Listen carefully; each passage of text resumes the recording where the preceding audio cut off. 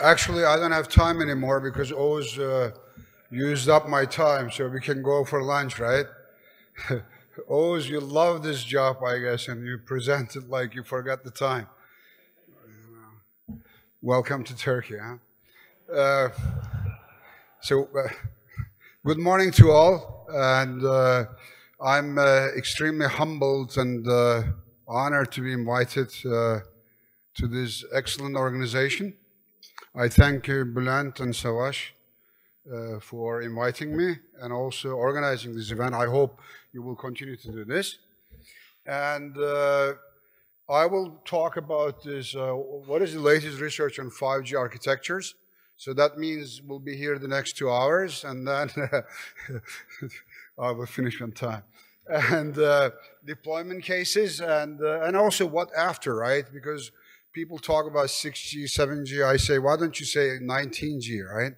So uh, you see also I am uh, with uh, Georgia Tech since 33 years. I was one of the youngest. Now I'm one of the oldest, unfortunately. And then you also see Russia, right? USA and Russia. And uh, 15 years ago, I realized I reached really the top of my career, for me at least. And then I started to be international and I started to open up and I went to different uh, countries. Like I created a center in South Africa for mine applications and then I did uh, something in Finland, uh, finished distinguished professor program. And under Humboldt Award, I did uh, work in Germany and I created the center in Barcelona and Polytechnic Catalunya. So, you know, many countries, also uh, Saudi Arabia, by the way, it's a hot topic now. Uh, in Jeddah, in King Abdulaziz University. So this year is about mega grant. Uh, Putin and Medvedev actually, yesterday I was in Moscow and Medvedev was there in this Open Innovation Forum. And uh, so they have this program called Mega Grant, a huge amount of money. Actually, I do all these things for you know helping these countries, right? Of course not. So you know, there's all money involved in this thing. So they give these, uh, uh, you know, they give these uh, opportunities. And so last July, we applied for this program. And out of 360 applications, uh, in all areas, by the way, from medical field agriculture, medicine, whatever you can think of. And only 30 received the uh, grant. It was in December. And out of 30, only two are non Russians. So one of them is me. So thank you. so uh, yesterday I was in panel, uh, as I said, they didn't believe because they said, you must have some Russian background. No, you know, I'm Laz guy from, so anyhow, so let's talk about the uh, uh, uh, thing about, uh, you know, everybody talks about 5G and you know, many people just hear things and then they say, oh, you know, I know about 5G. So I thought I will uh, set the record straight and I will explain about 5G. So what are the objectives of 5G? As you see here, compared to 4G like LTE, LTE Advanced, uh, we are trying to reach ultra high capacity, meaning 1,000 times more capacity per square kilometer. And uh, mobile cybersecurity, much tighter security aspects and also very, very high data rates. I call it ultra high data rates, meaning 100 times more uh, uh, data rates than the LTE or LTE Advanced, for example. We are talking about 10 gigabit per second peak data rates. And also, like this IoT is now, I'm working on the sensor since maybe 20 years now. So it's a big deal now. IoT, uh, meaning connection of millions and billions of things and people. And uh, we have all these different systems always connect to the best networks and energy savings like green communication. And of course, reduce latency, uh, almost less than one millisecond objective. It's almost zero latency. And the last but not least, it's called flexible network architecture. That's the topic of this, uh, of this morning's uh, uh session uh, softwareization, cloudification, SDNs, virtualization, all of that is under that uh, flexible network architectures. So when you look at all the research uh, in companies and universities, uh, uh, main performance objectives for these new directions are maximiz max maximization, maximizing the data rates. Sorry, I had only four hours sleep. So latency minimization and energy minimization and uh, reliability maximizing or maximization. And uh, what are the uh, differences compared to 4G, LTE, and uh, derivatives of LTE? So when you look at all of this, we already have them in LTE and derivatives, right? Like IoT, millimeter waves. I put there terahertz band because I will talk about it later. Massive MIMO, green communications, multiple access techniques like OFDM and then you know variations of OFDM, small cells, ultra densification, de de device-to-device communication, and of course big data, mobile cloud computing, edge computing, AIs, and machine learning. So these are really the uh, enabling or key technologies for 5G. But then when you look back 10 years, we were all doing these things before, right? So what the major paradigm shift is exactly the top things about softwareization, SDN, NFV, virtualization, cloudification. So that's the new paradigm shift moving from the 4G domain to 5G domain. So if somebody asks about that, that's really the major paradigm shift. Everything else is the same, plus, of course, improving all of this, right?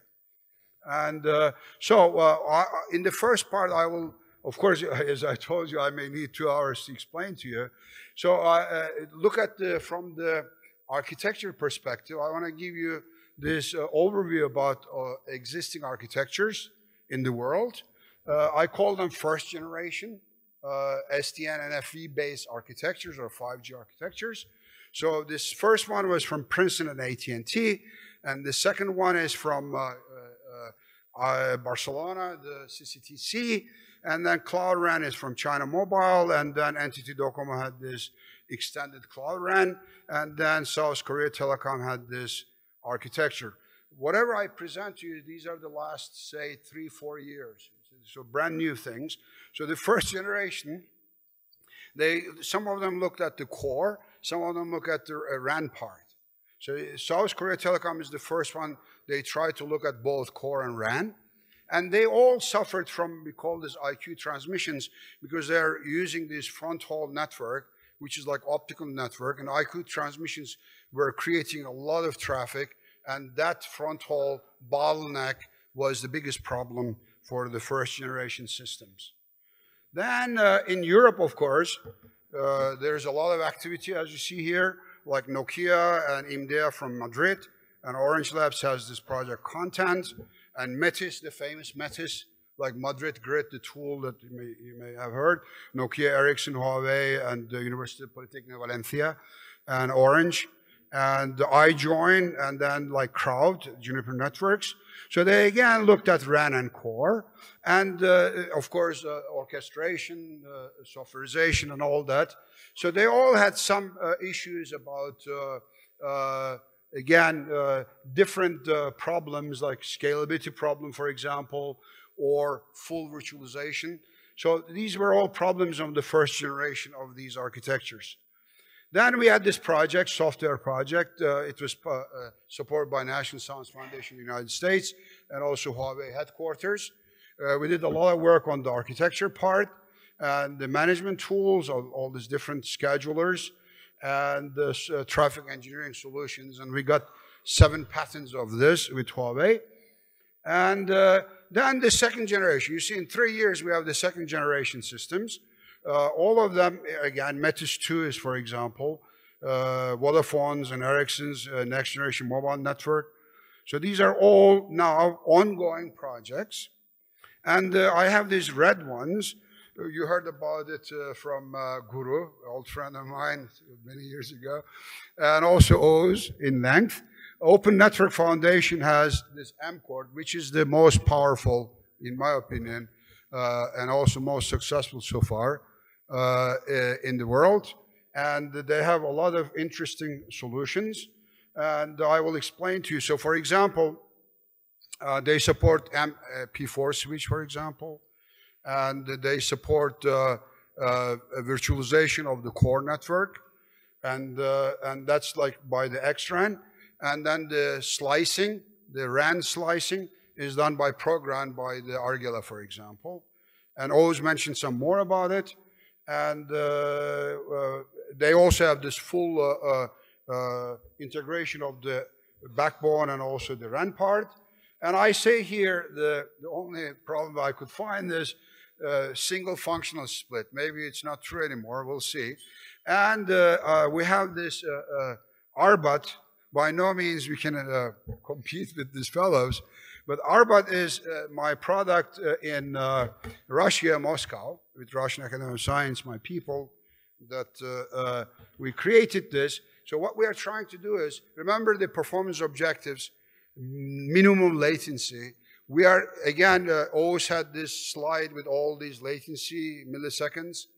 So we are trying to create a flat integrated architecture, no more uh, uh, Uh, uh, uh, distinctions between the core and the RAN network. We created this white box, or we call it Universal Network Device, UND. So you can put any of these devices we have under that umbrella, and then we are creating an, a, a flat architecture, which can also help us not only reduce latency, but also very, very flexible for all these different radio access technologies. And of course, many other things. So this is, I just started, by the way, in May. I was there four months, back and forth. But so these are the, you know, very talented young people, as you can see here. So we'll hire some more people, of course. And then these are the things that we are doing, like uh, universal network device. That's the, the new concept that we have and uh, uh, unifying RAN and the backbone, no more distinctions, no more hierarchies. And then we have Extreme platform, which uh, will also take care of a lot of these interesting video type applications on you know, uh, augmented reality, virtual reality type applications. And then we have also uh, service bridge orchestration and all these things. We still have a lot of time to do. And uh, so one of the problems is of these architectures that although they are called open architecture, I talked to always many times to have access to their tools so that we can do comparisons because the comparisons I showed you, they're all qualitative. So quantitative, I need the tools and it's open architecture, but you cannot have access. So it's really like chicken and egg problem. So that's supposed to be somehow uh, uh, done, uh, uh taken care of soon, right, for the researchers especially. And the, the, next part is about deployments. So everybody talks about 5G deployments, right? So a lot of uh, uh, uh operators say, oh, we'll have the 5G, uh, uh, you know, soon, the end of 2018. although AT&T president said that, but you know that's actually happening the last 35 years with all this G's that was also shoved. Like really, everything is evolution. So like they say 5G, and actually, it's like slowly, you know, introducing these 5G characteristics. It was the same was uh, 4G and same was in 3G, right? So, uh, so like they have this LTE Advanced with all these nice uh, uh like uh, QAMs and massive MIMOs, and they said this is already pre 5G, right? So in Europe there are 5G trials with all these leading companies, and the actual five, and again, they say, you know, first uh, uh, deployments, all these uh, uh, companies, the leading companies in the United States, they start to deploy, again, you know, uh, in quotes, 5G uh, in the spring of 2019, and also in other, you know, European countries and in Asia, they will start to deploy 2019. By 2020, they will be more and more full-fledged 5Gs coming out or will come out. And uh, actually, these are really what are, they are doing is parts of these 5G concepts, right? They talk about uh, millimeter waves deployments, right? 60 gigahertz or you know 30, 40 gigahertz equipment, like they use these uh, typical company equipments. And uh, the first deployments are in these major cities like Atlanta, Dallas, etc. Right? And then they have this FirstNet uh, public safety broadband platform nationwide. They are using 700 megahertz spectrum. And then Verizon, again, you see fixed uh, wireless access. They launched in millimeter waves uh, again in 2018. And they do not follow the 3GPP release 15 standard. They have their own you know, structure there. And they have these uh, uh, launch cities like Sacramento in California, Houston, LA and Indianapolis. And they also have small cells deployments in different uh, uh, cities and street poles and uh, street lights, like again, mostly California uh, cities and, and, Boston. And they're using 29, 28 to 39 gigahertz spectrums. Then the T-Mobile, they have a, this uh, first first 5G smartphones because we cannot use these phones that we have for 4G. They will be uh, uh, getting them out in early 2019. And uh, actually, Verizon, I will come back to it maybe, they will use this Motorola Moto Z3 or something, a new product, 5G product. So they have this, again, typical in New York City, uh, Los Angeles, Dallas, etc. They will deploy this. Again, you see, uh, you know, millimeter wave deployment is seen as kind of 5G here. What they're trying to do is, their objective is, uh, they're using 600 megahertz. They're trying to cover two-thirds of the United States with over 25 megabit per second data rates. Again, by far, you know, from our 5G objectives when you compare the results. And then by 90, uh, percent by 2024. And again, over, you know, these uh, map shows uh, 600 megahertz and over 600 megahertz spectrums. And then Sprint has this, they call it beautifully designed 5G phone will come out soon. And they are uh, upgrading their towers, uh, you know, the base stations uh, for uh, 800 megahertz, 1.9 gigahertz, and 2.5 gigahertz.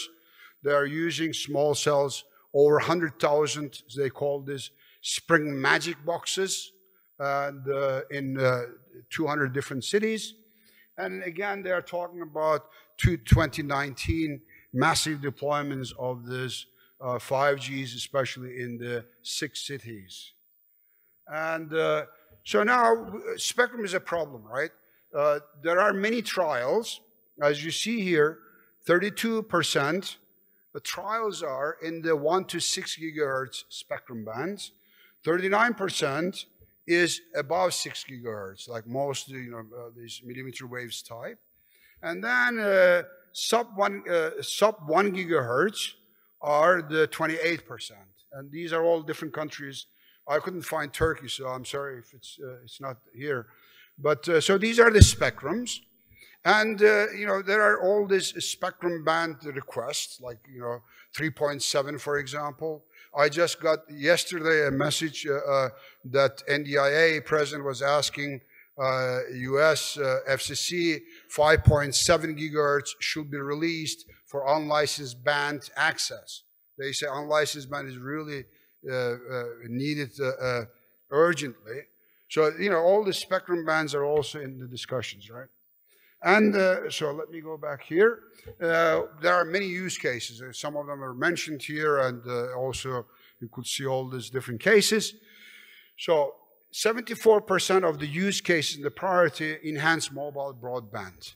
You can see some of them are ultra-fast internet, like again, gigabytes per second as 5G's objectives, enhanced video communication, integrated mobile video customer experience, early uh, augmented and virtual realities, and uh, work and play in the cloud. And then uh, uh ultra uh, reliable low latency communications. It was also mentioned before by Oz. Like again, uh, but it's very small percentage for the time being. Like advanced augmented reality and virtual reality, and connected and autonomous vehicles, and you know car-to-car -car communications, and industrial and vehicular automation and all these uh, mission, uh, mission critical broadband. And you see massive IoT is 21%, but I assume this will really take off more. Even as I mentioned to you in Russia, everybody, you know, all the Medvedev was their prime minister, and he said that they will invest two trillion, uh, uh trillion dollars, you know. Uh, so to all this automatizing smart country, they call it, digital transformation. So all of these uh, are also under the massive IoT. So I hope I gave you all these deployment cases and use cases about the frequency bands and also about 5G. So what is after 5G, right? So these are all, these are my love. That doesn't mean that's supposed to be, right? People were talking about 6G, 7G, etc. So these are really interesting topics. I love them. I hope someone will love it. I call this intelligent communication environments. And a little bit later on, terahertz, because everybody, like I started 12 years ago, terahertz band. And now people woke up and they say, oh, you know, there's terahertz band. We can do something there. We have a lot of patents, by the way. I don't know they will bring some money or not. So Internet of Nano Things, Internet of Bio Nano Things for health applications, and Internet of Space Things, CubeSat communications. So these are really, I mean, I love them, but so what are these intelligent communication environments? Please, uh, you know, if you're a researcher or investor, think about this. So we have these reflect arrays, right? They only support normal reflections. When the signals come and they just reflect them, right? So with these intelligent environments, we are trying to create, we call them meta surfaces using certain materials like nanomaterials, like metamaterials or graphene. That was also from my past with Internet of Nano things. So we are creating these, we call them hypersurfaces, programmable metasurfaces. So they will do control reflection of the signals, polarized reflections, and absorptions. So it's really a very hot topic. Uh, of course, some of you may say, oh, these are relays. They are not your father's relay, by the way. It's not relay. Relays have a lot of delays and all that, so plus very expensive. So, you know, European community future emerging technology is extremely, uh, very competitive, like 3% acceptance rate. We got 4 million euros. So we are trying to create this. And uh, we will be supporting any, you know, from 1 gigahertz to up to 10 terahertz in the future. So we are, uh, so the leader is FORTH. There's a research center in Greece, Crete. And then uh, uh, I have this affiliation with University of Cyprus. really. So then Aalto University, Fraunhofer Institute, and UPC, we just published this uh, communication magazine. Uh, you can see all these Greek names and myself, right? So it looks like I'm patched, but the interesting thing is they didn't take me because, you know, I'm Laz guy, but they took me because I gave a keynote speech in 2011 in uh, uh, Nicosia. Actually, it was Larnaca, Ayia Napa. So they loved this talk about nano things and nanomaterials. And they came up with these ideas, and then I trashed them in 2014. It was called White Snow. And then we worked together and together, and then we create this VisorSurf. So finally we got it. And so we are working on it. There are many physics people and materials people, communications. So it's a huge project, by the way. I hope some of you can access this and read it. So as you see here, these are all, you know, tiles we will be creating. So it's also we'll use AI and machine learning to make these tiles very, uh, you know, intelligent, right? So I hope you get the point here. So Internet of Nano Things, uh, I started 2006 in Barcelona, I created nano center in Catalonia. So we try to, because when you look at the IoTs, micro things, they're all very uh, uh, uh, uh, uh, intrusive. Like, you know, you don't want to have all these micro things around, right? So can we do nano things, for example? So that's why we published in 2010 in this magazine, bunch of, I got a lot of projects for, for this. And look here, 2016, American, uh, uh, Scientific American put this article, uh, I had nothing to do with it, Internet of Things goes nano. So, uh, you know, a lot of people are also working on this now. And then Internet of Bio things, it's all with the inside of the body. When you look at, there are all these really like networking devices, molecular motors, hormones. You can create a communication network inside of the human. You can also create artificial hormones and calcium signals you can inject into the body and they communicate with each other and they can attack any of these diseases, tumors, and uh, hopefully our lifespans will be longer, right? So I'm working on it also since 12 years. And then we want to create this internet backbone, right? It's a like cyber physical system, closed loop. So we have a lot of activities going on that on this here too. And then the last one is Internet of Space things. So it's not like I go to uh, istihare or whatever it's called, and then next day I come with these ideas. So like, for example, I used a lot of, I did a lot of work for NASA in 1990s, also interplanetary internet. I remember I gave a talk here 2004, interplanetary internet, but with NASA's, you know, problems, uh, we got out of there. But then I was uh, invited by University of New Mexico for a seminar, and I, there is an Air Force Research Lab, AFRL, in uh, uh, Albuquerque in New Mexico, and I saw these CubeSats there. I couldn't believe that. I mean, uh, you know, it, it has been existing since many time, years, but so I really got excited, and I, started to work on it two years ago. And uh, so I learned it, that CubeSat was introduced by California uh, Polytechnic Institute in 1999. So these are really like very small. Like the unit is, one U means 10 by 10 by 10 centimeters, Mach size, very small, like kind of, kind of nano microsatellites. It's not that expensive to produce them. Where you launch them and then, you know, when they're, when they're dead, so what? So you produce more and send them in. And so it's very, very powerful technology. And I said, why don't we create something like that, right? So we create this, uh, uh, we have new design, we apply for patent for it. So what we will do is we'll let them uh, operate in terahertz bands. Because in the space, there are no atmospheric uh, uh, uh, effects. When you have terahertz in the, in the atmospheric, like in the terrestrial environment, all these water particles uh, uh, affect the signal propagation. The distance is limited, so you cannot go beyond one meter or two meters. We worked a lot on those, how to extend that. Actually, those uh, intelligent platforms came from that idea, by the way. So to extend the distance of the terahertz communication systems.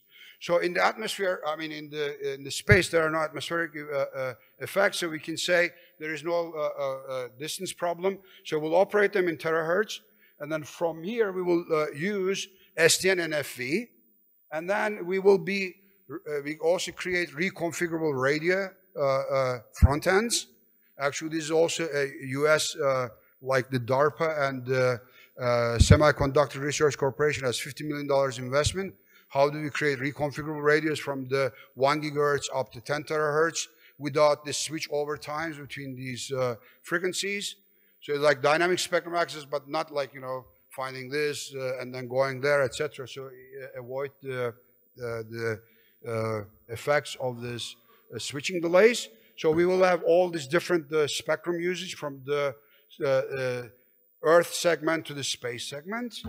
And so these are the uh, designs of the hardware. The uh, you know it's very simple to design these uh, CubeSats, right? So and uh, but with a lot of uh, uh, ideas like reconfigurable front end. We have a patent on thousand by thousand. We call this ultra massive MIMOs, and then all this you know like multi-frequency transceiver design. And then we will use SDN NFV because that's very powerful concept it can easily be uh, uh connected to the 5G, right? And, and also, it's easy to always change the software and uh, do all of these things, right? So first time I use this thing, by the way. Thank you.